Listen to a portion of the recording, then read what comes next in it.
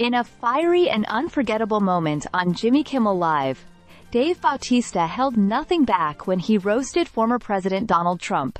The actor, known for his tough guy roles, especially in Guardians of the Galaxy I, went on a scathing rant that left no doubt about his feelings toward Trump.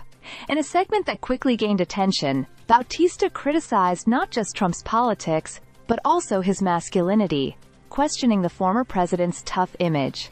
Bautista's remarks came in response to the perception among some male voters that Trump embodies strength and confidence. Jimmy Kimmel pointed out that despite Trump's lead among male voters, Bautista was ready to dismantle the notion that Trump is the alpha male he projects himself to be.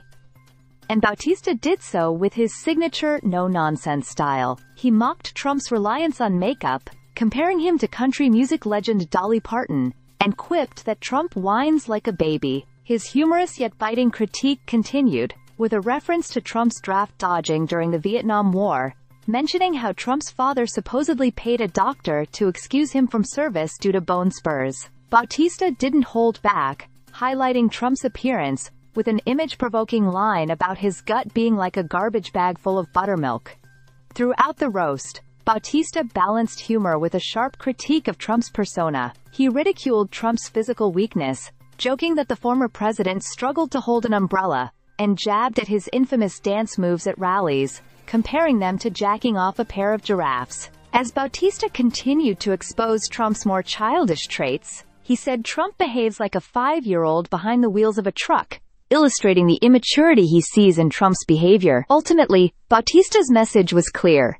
Voters need to stop being fooled by Trump's manufactured image of strength and take his weaknesses into account. The clip quickly spread online, gaining widespread attention and igniting conversations across social media.